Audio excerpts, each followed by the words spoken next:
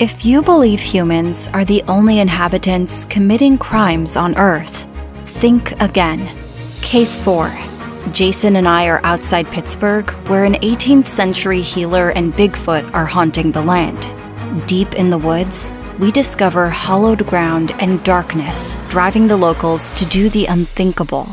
Confounded by the healer's death while battling an asshole entity from another galaxy, our only hope is when a friend offers her coveted broom.